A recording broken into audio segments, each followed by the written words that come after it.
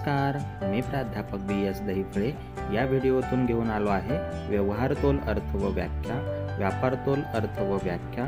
अनुकूल व्यापारतोल प्रतिकूल व्यापारतोल आणि व्यवहारतोल व व्यापारतोल यातील फरक सुद्धा.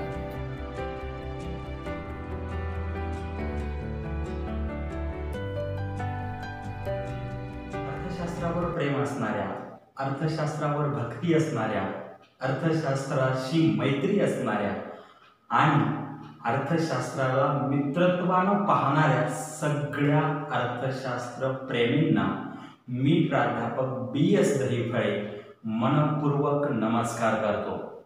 आणि बारावीच्या अर्थशास्त्रा संदर्भातील विविध व्हिडिओ यूट्यूबच्या माध्यमातून मी तुम्हा समोर घेऊन येत आहे. त्यामुळं सर्व यूट्यूबवरील माझ्या व्हिडिओ पाहणाऱ्या यूट्यूब प्रेमींना सुद्धा मी मनापासून त्यांचे आभार व्यक्त करतो आणि त्यांनाही नमस्कार करतो. मी आज या व्हिडिओच्या माध्यमातून भा बारावीच्या अर्थशास्त्रातील शेवटचं म्हणजे दहावं प्रकरण प्रकरणाचं नाव भारताचा विदेशी व्यापार. या प्रकरणातील विदेशी व्यापार या संदर्भात अत्यंत महत्त्वाच्या असणाऱ्या दोन संकल्पना घेऊन आलो आहे. या दोन संकल्पनांची सविस्तर माहिती या व्हिडिओच्या माध्यमातून आपण समजून घेणार आहोत.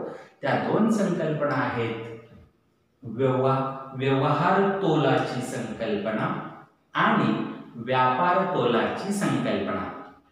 या दोन संकल्पनांचा सविस्तर आढावा या व्हिडिओतून मी तुमच्यासमोर घेऊन आलो आहे. सुरुवात करूया व्यवहार तोलाची संकल्पना समजून घेण्यापासून. व्यवहार तोल म्हणजे नेमकं काय? विद्यार्थी मित्रांनो विदेशी व्यापारामध्ये या दोन्हीही संकल्पना विशेष महत्त्वाच्या आहेत. म्हणून समजून घेऊया व्यवहार तोल म्हणजे नेमकं काय? व्यवहार तोलाची व्याख्या प्राध्यापक एल्सवर्थ यांनी केलेली ही व्याख्या आहे. प्राध्यापक एल्सवर्थ यांच्या मते एका देशातील रहिवासी व जगातील उर्वरित सर्व रहिवासी यांच्यात केल्या गेलेल्या सर्व देवाणघेवाणीचे लिखित विवरण म्हणजे व्यवहार तोल होय. म्हणजे एका देशातील रहिवासी आणि जगातील इतर सर्व रहिवासी यांच्यामध्ये वस्तू व सेवांची होणारी देवाणघेवाण किंवा कर्ज व गुंतवणुकीची होणारी देवाणघेवाण यांच्या संदर्भातील सर्व विवरण. लिखित विवरण म्हणजे व्यवहार तोल होय. विद्यार्थी मित्रांनो व्यवहार तोल हा दोन खात्यामध्ये विभागलेला असतो. आता व्यवहार तोलाचं जे विवरण किंवा लिखित विवरण केलं केलेलं असतं ते लिखित विवरण दोन खात्यामध्ये विभागलेलं आहे. त्याच्यात पहिलं खातं आहे ते म्हणजे चालू खाते. मग चालू खात्यामध्ये कोणत्या प्रकारच्या व्यवहाराचं लिखित विवरण असतं हे जर आपण समजून घ्यायचं ठरवलं तर आपल्याला लक्षात येईल चालू खात्यामध्ये वस्तू व सेवांची जी देवाणघेवाण आहे किंवा एखाद्या देशातील वस्तू आणि सेवांची दुसऱ्या देशातील वस्तू आणि सेवांची जी देवाणघेवाण आहे त्या देवाणघेवाणीचं वि विवरण किंवा लिखित विवरण हे चालू खात्यामध्ये केलेलं असतं. सोप्या शब्दात सांगायचं म्हटलं तर चालू खात्याचे पुन्हा दोन खात्यामध्ये वर्गीकरण केले जाते. एक म्हणजे दृश्य खाते. या दृश्य खात्यामध्ये वस्तूंच्या देवाणघेवाणीचे व्यवहार लिखित असतात किंवा त्याचं विवरण असतं. आणि दुसरं म्हणजे अदृश्य खाते. अदृश्य खात्यामध्ये सेवांच्या देवाणघेवाणीचे व्यवहाराचं विवरण असतं. अशा पद्धतीने विद्यार्थी मित्रांनो व्यवहार तोलामध्ये चालू खाते हे एक खाते आहे.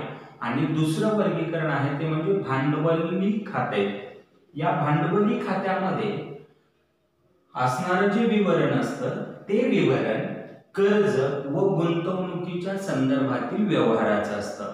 म्हणजे एखाद्या देशाचे दुसऱ्या देशासोबत कर्ज व गुंतवणूक याच्या संदर्भामध्ये जे व्यवहार होतील त्या व्यवहाराचं विवरण किंवा लिखित विवरण हे भांडवली खात्यामध्ये असेल.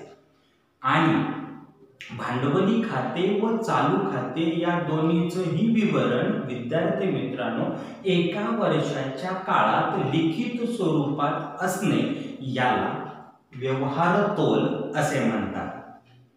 आणि सगळ्यात महत्वाची पुढची बाब म्हणजे व्यवहार तोल ही जी संकल्पना आहे ती व्यापार तोलाच्या जी आपण आता पुढं समजून घेणार आहोत त्या व्यापार तोलाच्या संकल्पनेपेक्षा व्यवहार तोलाची संकल्पना व्यापक आहे.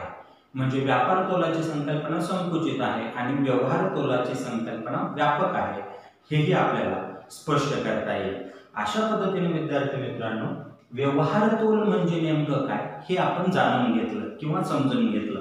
आता पुढे जाऊया. आणि व्यापार धोरण म्हणजे नेमकं काय हे सुद्धा समजून घेऊया.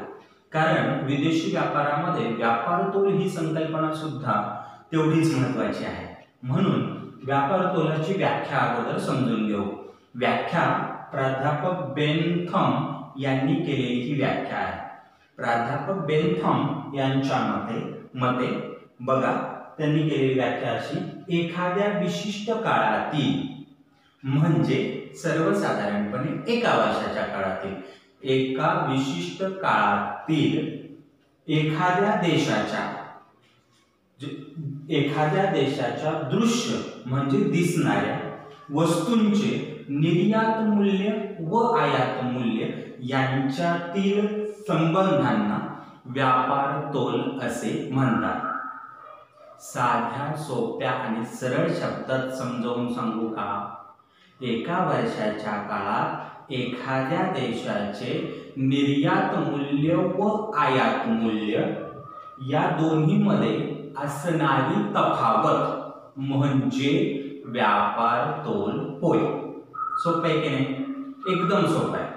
एका वर्षाच्या काळातील एखाद्या देशातील निर्यात मूल्य व आयात मूल्य या दोन्हीमध्ये असणारी जी तफावत आहे त्याला व्यापार तोल असे म्हणतात. सोपे मग व्यापार तोल ही संकल्पना पुन्हा दोन प्रकारे स्पष्ट केली जाते. एक अनुकूल व्यापार तोल आणि दुसरी प्रतिकूल व्यापार तोल. अनुकूल व्यापार तोल कशाला म्हणायचं मग?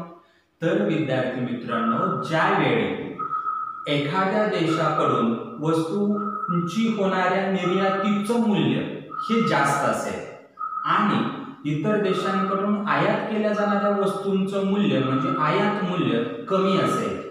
म्हणजे निर्यात मूल्य इज ग्रेटर दॅन आयात मूल्य. अशी परिस्थिती असेल तर त्या परिस्थितीला आपण अनुकूल व्यापार तोल असे म्हणतो. उदाहरण देऊन सांगू का? समजा भारत एका वर्षाच्या काळात शंभर रुपयांच्या वस्तूंची निर्यात दुसऱ्या देशाला करत असेल. आणि भारत हा सत्तर रुपयांच्या वस्तू इतर देशांकडून आयात करत असेल. तर निर्यात मूल्य किती आहे? शंभर रुपये. आणि आयात मूल्य किती आहे? सत्तर रुपये. मग शंभर रुपये म्हणजे निर्यात मूल्य इज ग्रेटर दॅन सत्तर रुपये म्हणजे आयात मूल्य.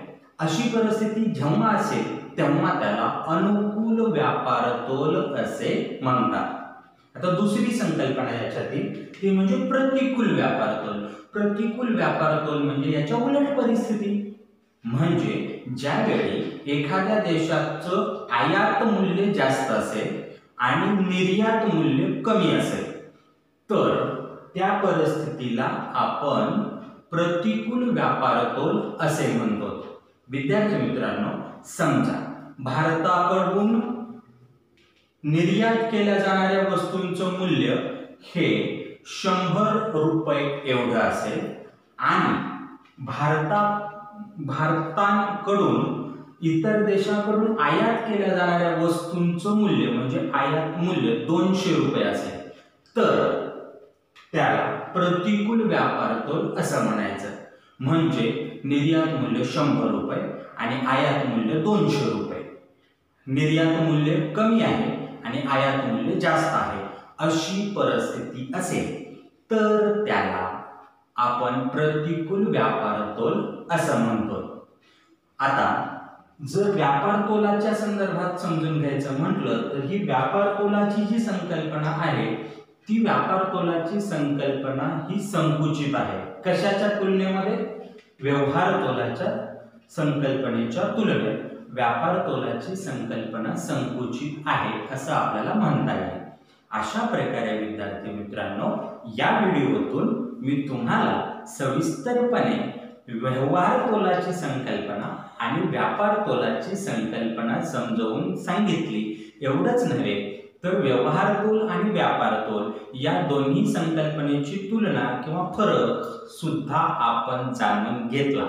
या व्यतिरिक्त व्यवहार तोल आणि व्यापार तोलाबद्दल जास्तीचं किंवा व्यापक विश्लेषण आपण आपण वेगवेगळ्या प्रकारच्या प्रसार माध्यमावरून किंवा यूट्यूबवरून किंवा सोशल मीडियावरून पाहू आणि अभ्यासू शकता किंवा इतर पुस्तकांमधून सुद्धा याचा अभ्यास करता येऊ शकतो. अशा पद्धतीनं व्यवहार तोल आणि व्यापार तोलाच्या दोन संकल्पना विदेशी व्यापारामध्ये अत्यंत महत्त्वाच्या आहेत. आणि त्या आपण या व्हिडिओतून सविस्तर समजून घेतल्या. धन्यवाद. एक विशेष सांगण्याची बाब अशी की आपल्या बारावी अर्थशास्त्राच्या बदललेल्या अभ्यासक्रमानुसार म्हणजे दोन हजार वीस एकवीसनुसार असलेला संपूर्ण अभ्यासक्रम हा अत्यंत सोप्या साध्या सुटसुटीत आणि सहज पद्धतीनं यूट्यूबवरती देत असताना मला मनोमन आनंद होत आहे. कारण आपला बारावी अर्थशास्त्राचा संपूर्ण अभ्यासक्रम माझ्या यूट्यूब चॅनलवरती आता उपलब्ध झालेला आहे. या मुद्द्यावर या मुद्द्याच्या विश्लेषणाच्या नंतर बारावी अर्थशास्त्राचं अभ्यासक्रम सुद्धा पूर्ण झाला. हे प्रकरण सुद्धा पूर्ण झालं. आणि हे सगळी प्रकरणं आणि संपूर्ण अभ्यासक्रम माझ्या यूट्यूब चॅनलवरती तुम्हाला अभ्यासता येईल. आणि त्या सर्व अभ्यासक्रमाचे संपूर्ण व्हिडिओ मी या व्हिडिओच्या डिस्क्रिप्शन बॉक्समध्ये त्याची लिंक देत आहे.